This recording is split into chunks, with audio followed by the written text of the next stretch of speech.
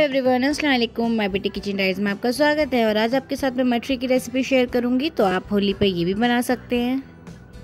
और यहाँ पे हमने लिया है ये एक बड़ा बाउल मील का आटा, देख सकते हैं आप।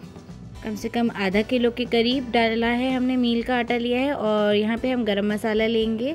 वन टेबल स्पून के करीब गरम मसाला ले लिया है हमने यहाँ। और ये होममेड गरम मसाला हमने लिया था और वन टेबल स्पून के करीब गरम मसाला लिया था और अब हम डाल देंगे अजवाइन। अजवाइन भी हम एक टेबल स्पून के करीब ही डालेंगे और इसे हाथ से थोड़ा सा मसल कर डालिएगा। एक से डेढ़ टेबल स्पून ले सकते हैं आप अजवाइन।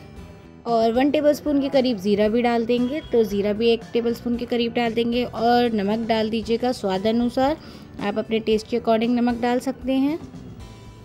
और हम इसमें हम मेल्टेड घी डाल देंगे। हमने घी को मेल्ट करके डाला है और मोयन करने के लिए डालते हैं मतलब बाइंड करने के लिए हम पहले हम घी से इसको बाइंड करते हैं, अच्छे से मिक्स कर लेंगे, फिर जब ये अच्छे से बाइंड होना स्टार्ट हो जाएगा, फिर हम इसे पानी से गूँधेंगे तो पहले तो हमें इसे अच्छे से मोयन कर लेना है बाइंड कर लेना है।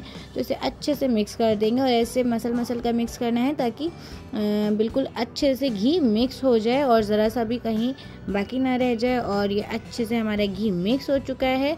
और आप देख लीजिए, अब ये बाइंड हो गया है। ऐसे अब मुट्ठी बना बना कर देखिएगा, जब ये बाइंड होने लगे तो समझ लीजिएगा ये रेडी है आटा गूंदने के लिए। अब हम पानी डालकर थोड़ा थोड़ा सा गूंद लेते हैं। थोड़ा कर्रा आटा गूंदता है, इसलिए कर्रा आटा गूंदिएगा और कम से कम 50 से 60 ग्राम घी लगा होगा इसमें और आटा आप कर्रा गूंदिएगा क्योंकि सेमे या मटरी में आटा हमारा कर्रा ही होता है और इसे देख सकते हैं कितना कर्रा गूंदा है। काफ़ी टाइट आटा गूंदता है और इसे आधे घंटे के लिए रेस्ट करने के लिए छोड़ेंगे और फिर ये हम इसकी मटरी तैयार कर लेंगे। और आटा रेडी हो चुका है, आधा घंटा हो चुका है और अब हम मठरियाँ तैयार कर लेते हैं। तो छोटे छोटे पेड़े बनाकर और हाथ से हम इसे मठरी बना लेंगे। आप बेल के भी बना सकते हैं, पर वो पतली हो जाएगी तो हमें हाथ से ही ऐसे पेड़े बनाकर ऐसे तैयार कर लेंगे। और ज़्यादा बड़ी नहीं बनानी है, बस मीडियम साइज़ की बनानी है। तो पहले हम पेड़े बना लेते हैं और फिर इतनी बड़ी हमें बनानी है। देख सकते हैं आप साइज़ कितना बड़ा है।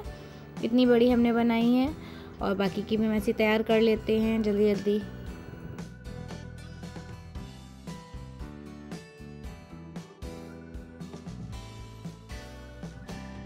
और यहाँ पे घी भी गर्म हो चुका है। हमने घी एक साइड रख दिया था गर्म होने के लिए और डाल देते हैं हम सारी मछलियाँ हल्के हल्के। थोड़ी थोड़ी करके फ्राई करनी है और मीडियम फ्लेम पर फ्राई करें। वहाँ हाई फ्लेम पर जल जाएँगी और अंदर से कच्ची रह जाएँगी। तो मीडियम फ्लाई मीडियम फ्लेम पर थोड़ी सी गोल्डन ब्राउन होने तक करनी है फ्राई ज़्यादा नहीं करनी और ज़्यादा एक साथ डालनी भी नहीं है, वरना थोड़े से बीच में पिचक सकते हैं।